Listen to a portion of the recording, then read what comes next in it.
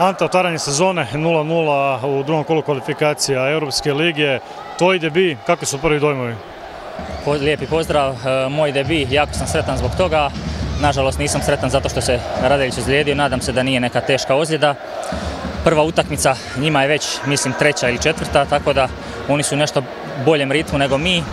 Dosta tvrdi, težak protivnik. E, ne zaslužuju biti u drugoj ligi, ne znam sam, valjda su neki, neka pravila, ne znam zašto.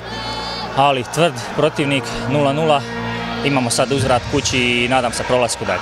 Šta možemo očekivati uzvratu na domaćem terenu ipak?